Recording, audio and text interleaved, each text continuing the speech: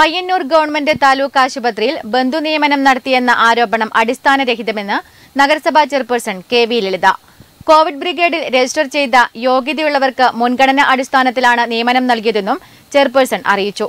ബന്ധുനിയമനം നടന്നുവെന്നാരോപിച്ച് U D F കഴിഞ്ഞ ദിവസം ആശുപത്രി സൂപ്രണ്ടിനെ ഉപരോധിക്കുകയും പരാതി നൽകുകയും ചെയ്തിരുന്നു.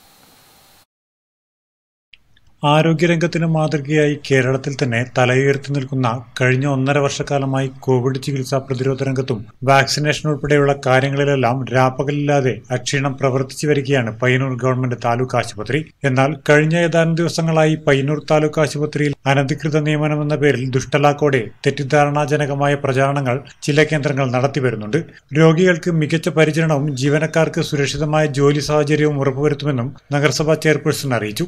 കേരളത്തിൽ വിവിധ ജില്ലകളിലായി കോവിഡ് ബ്രിഗേഡിൽ രജിസ്റ്റർ ചെയ്തിട്ടുള്ള ജീവനക്കാർ ഈ മേഖലയിലേക്ക് നിയമിക്കപ്പെട്ടിട്ടുള്ളത്.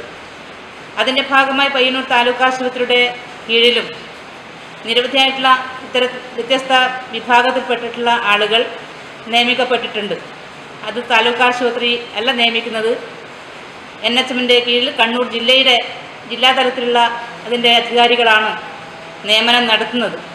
ഇതുമായി ബന്ധപ്പെട്ട് വലിയ തെറ്റിദ്ധാരണ ജനങ്ങളിൽ ഉണ്ടാക്കുന്നതിന് വേണ്ടിയിട്ടുള്ള ഇടപെടലുകളാണ് ഇത്തരം ആളുകളുടെ ഭാഗത്ത് നിന്ന് ഉണ്ടായിക്കൊണ്ടിരിക്കുന്നത് എന്നുള്ളത് നമുക്ക് കാണാൻ വേണ്ടി കഴിയണം.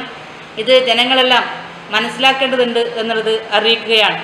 കോവിഡുമായി ബന്ധപ്പെട്ട പ്രതിരോധ ചികിത്സാ പ്രവർത്തനങ്ങൾക്കായി താൽക്കാലികാടിസ്ഥാനത്തിൽ കോവിഡ് ബ്രിഗേഡ് വഴി ഏകീകൃത സംവിധാനത്തിലൂടെ ജില്ലാടിസ്ഥാനത്തിലാണ് നിയമനം നടക്കുന്നത്. പയ്യന്നൂർ താലൂക്ക് ആശുപത്രിക്കോ നഗരസഭക്കോ നേരിട്ട് കോവിഡ് ബ്രിഗേഡിൽ നിന്ന് ജീവനക്കാരെ നിയമിക്കാൻ കഴിയില്ലെന്നതാണ് വസ്തുത. ഇതുമായി ബന്ധപ്പെട്ട് ബന്ധുനിയമനം നടത്തിയെന്ന യു ഡി എഫിന്റെ ആരോപണം അടിസ്ഥാനരഹിതമാണെന്ന് നഗരസഭാ ചെയർപേഴ്സൺ കെ വി ലളിത പറഞ്ഞു. ജനങ്ങളിൽ തെറ്റിദ്ധാരണയുണ്ടാക്കുന്ന ഇടപെടലാണ് യു ഡി എഫിന്റെ ഭാഗത്തു നിന്നുണ്ടായതെന്നും യു ഡി എഫ് നൽകിയ പരാതിയിൽ കഴമ്പില്ലെന്നും ചെയർപേഴ്സൺ നെറ്റ്വർക്ക് ന്യൂസിനോട് പറഞ്ഞു ന്യൂസ് ബ്യൂറോ പയ്യന്നൂർ.